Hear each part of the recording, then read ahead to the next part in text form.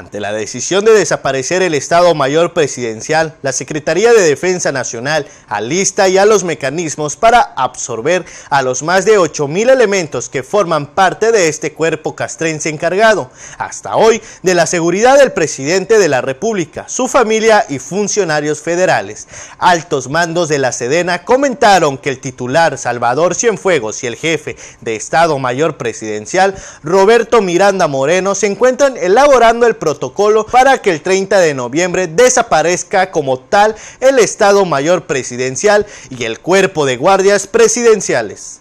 La Sedena estará a disposición de la Presidencia de la República para definir si en la gestión de Andrés Manuel López Obrador seguirán siendo los responsables de la seguridad de por lo menos los presidentes, jefe de Estado y ministros que visiten el país.